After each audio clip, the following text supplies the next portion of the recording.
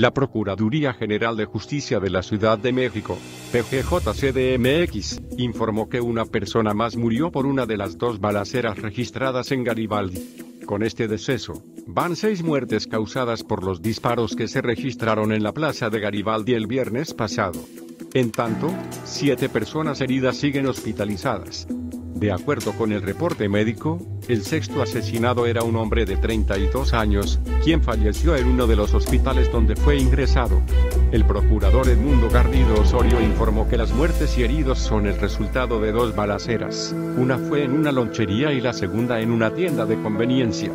Afirmó que ambos tiroteos son el resultado de un ataque directo por la disputa de dos grupos delictivos que presuntamente se dedican al narcomenudeo relató que en el primer ataque participaron tres sujetos vestidos de mariachi, quienes dispararon en contra de ocho personas, de las cuales tres murieron en el lugar.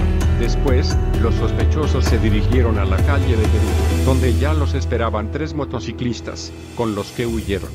El segundo evento, dijo, ocurrió a unos 40 metros del primero rumbo a la calle de Allende, en una tienda de convivencia, donde un grupo de individuos armados disparó en contra de cinco personas, una de las cuales murió en el lugar.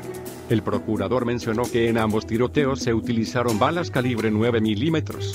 Además, Edmundo Garrido aseguró que tienen el seguimiento de los responsables de las agresiones mediante las cámaras de videovigilancia de la capital, tanto antes como después del momento de los hechos.